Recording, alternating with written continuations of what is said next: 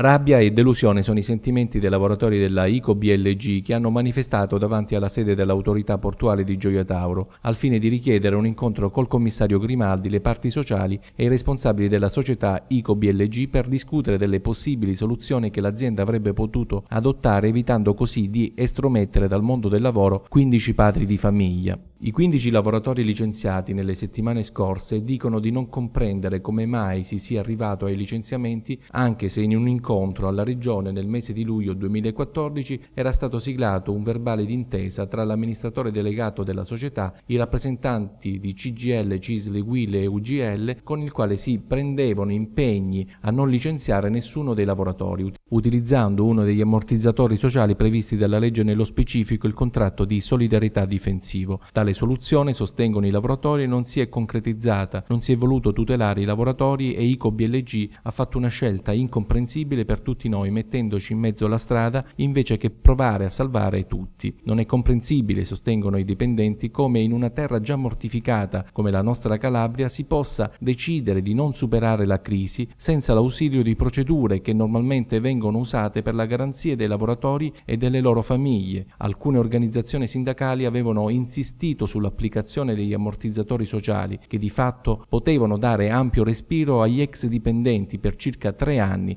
ma la scelta irresponsabile di licenziare i lavoratori non ha risolto il problema, anzi ha lasciato nella disperazione più assoluta 15 famiglie. La protesta ha portato l'autorità portuale ad assumere l'impegno che entro dieci giorni interverrà per aprire un confronto tra organizzazioni sindacali e azienda. Siamo disperati, hanno aggiunto i lavoratori, non sappiamo più cosa fare per dare una speranza alle nostre famiglie. Confidiamo in questa disponibilità avuta nella mattinata di ieri e rimettiamo tutti i nostri buoni propositi nell'incontro che si terrà nei prossimi giorni.